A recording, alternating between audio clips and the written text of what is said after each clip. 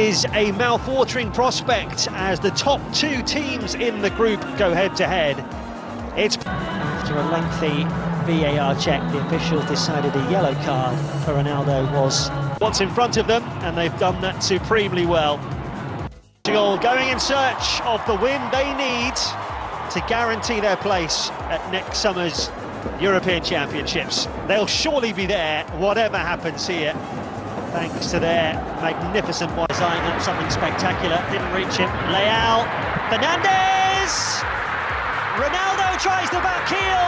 Oh, how did that not go in from Bernardo Silva? Vastly experienced right back for Slovakia. Oh, that's a giveaway in midfield by Kucka of all. Ramos! There's the opening goal for Portugal. Bruno Fernandes with the cross. And Gonçalo Ramos with the header. Past Dubravka. He's got it back from Bruno Fernandes. Here is the Manchester United man again. Ramos! There's the opening goal for Portugal. Bruno Fernandes with the cross.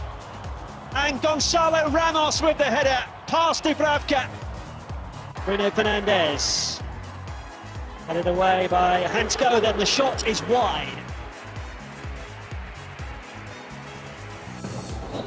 This is Peter Pekarik. Oh, what a good looking ball in that is. Cancelo.